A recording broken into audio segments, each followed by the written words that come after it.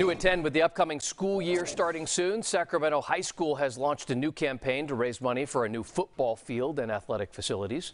Fox 40's Garshpal Sangha joining us live outside Sac High with the issues they're facing.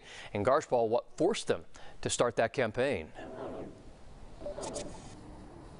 Eric, there are a lot of issues, and it's going to take a lot of money to fix all those issues. Now, the team here at Sac High and a nonprofit are hoping to begin somewhere, a start to make things better. Come on, let's get to our spot. High school football is underway.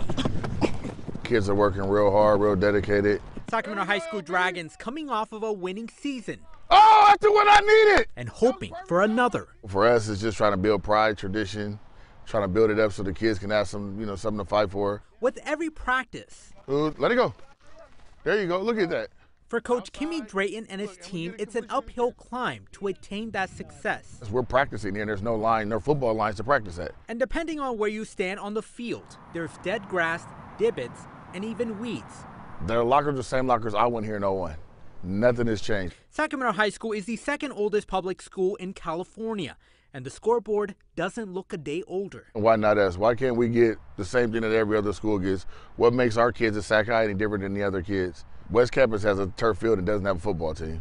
Johnson has a turf field. McClatchy has a turf field. Florin has a turf field. Everybody else in Sac Unified has a turf field but us. On top of the field issues, some of these games have had to be canceled or rescheduled because the field tends to flood. And also, what's even worse is sometimes they're canceled because they just don't have enough seats. I'm not surprised. We always get left behind. Julius Douglas played on this field a decade ago. His Oak Park nonprofit seized the moment, is teaming up to raise money through GoFundMe to upgrade the field and athletic facilities. I just feel like the kids need some a better field to play on. Other high schools got one, so why not Sac High? Why are we getting overlooked? Why are we getting left out? Douglas says he was tired of waiting for others to fix the problem. Down, set, one.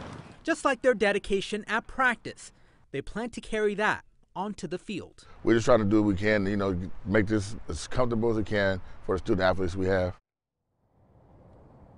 And their first home game is about a month away, and the community and the team is going to be hosting a cleanup event. That's going to be next Saturday at 10 a.m. They're asking for volunteers and for people to bring their garden tools. Now, if you want to donate to their GoFundMe page, you can find that under this story on fox40.com. Reporting live in Sacramento, I'm Garshpal Sangha, Fox 40 News.